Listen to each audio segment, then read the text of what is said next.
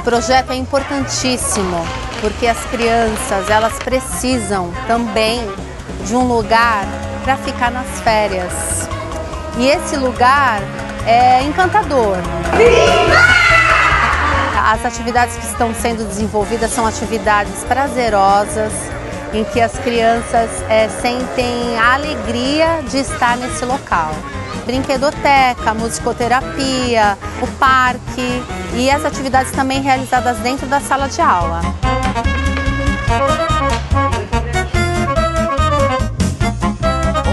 Eles almoçam, fazem a higienização e logo após vem o horário do soninho.